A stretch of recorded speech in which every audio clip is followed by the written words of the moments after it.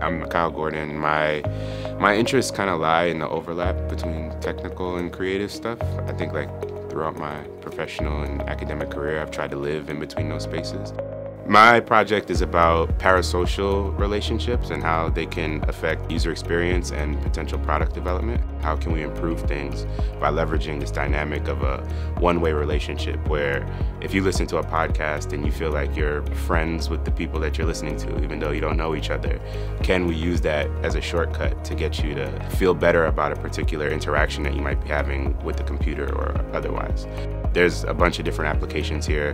Metaverse opportunities are pretty big as far as having really smart, non-playable characters that you might be able to interact with. There's more functional stuff too, like telehealth, where increasingly these things are becoming automated and that's a very sensitive situation. So you want to make sure people feel comfortable.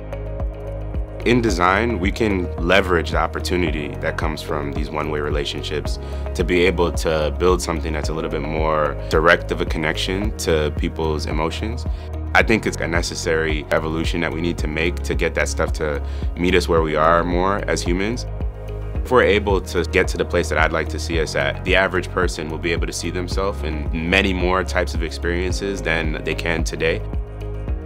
Being a business student and being someone who is deeply passionate about the design world, one thing that I would love to advocate for is to show the like range of opportunities that are available in the design space.